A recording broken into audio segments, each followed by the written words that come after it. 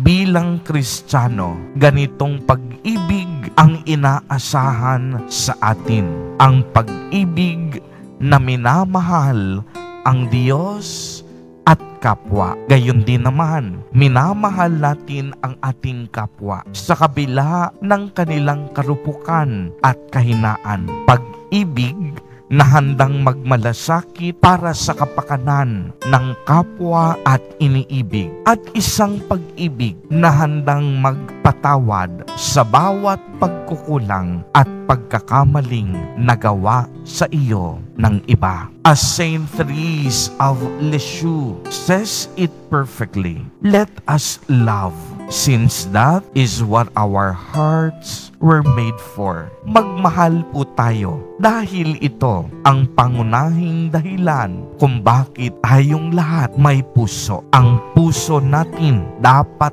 nakalaan para pumintig at para magmahal sa Diyos at kapwa. Sa araw pong ito, hinahamon tayo ng ating ebanghelyo. Huwag tayong matakot umibig sapagkat ang Diyos mismo ay Diyos ng pag-ibig. Amen. Purihin at dakilain natin ang ating Panginoon, ang mahal na poong Jesus Nazareno